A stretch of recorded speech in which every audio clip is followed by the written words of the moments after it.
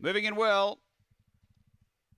And uh, we're just about ready. Light on, set to go. Best of luck, putters. Last of the day here at Gawler Greyhounds. We're ready.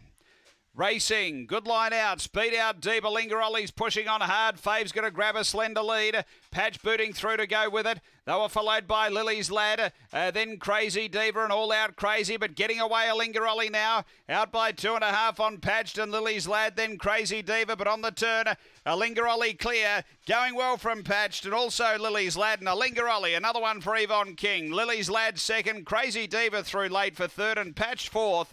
Uh, then all out crazy. The time here around 22.60, 22.66 in fact. After the running of uh, race number 12 and uh, 8, the winner has been too good a Lingaroli. Able to burn over, had patch booting through to go with it early, but then was able to push clear midway down the back and has gone on for a uh, nice win here, number eight, uh, for Yvonne King, bringing up the double. Second to four, uh, Lily's Lad for Jade Hurley and third to one, Crazy Diva uh, for Des Hockley. Numbers are eight, four, one. Uh, six is fourth after the running of race number 12 here at Gawler.